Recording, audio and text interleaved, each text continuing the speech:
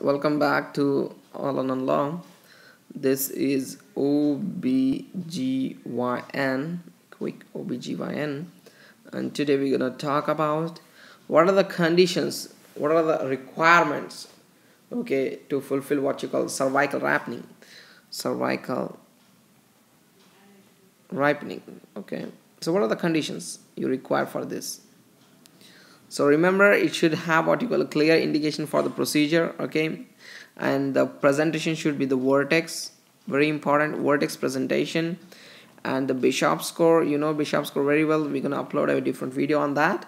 Bishop score should be what you call less than 4 okay? Score less than 4 what's a bishop score? You know it's a, what you call a, a quantitative method for predicting successful uh, induction of labor it involves uh, dilatation of cervical dilatation, cervical position, cervical effacement, head station and cervical consistency. So these all together we make a score okay? Uh, depending on that we know the outcome of the pregnancy okay? So labor. So bishop score less than 4 remember? Non-reactive sorry reactive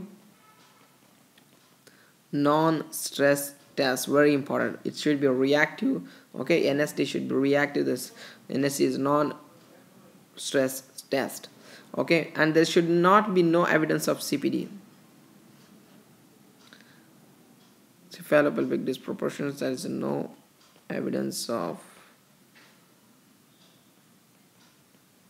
CPD okay? Remember right? And what you call there should not be what you call placenta previa placenta previa so these are the important conditions that should be fulfilled before a cervical ripening. Okay. So we know we can cervical ripen with the prostaglandins. There's some pharmacological techniques, mechanical techniques. Okay. So different techniques are there to ripen the cervix. Okay. Uh, so thank you so much for watching this video. Take care.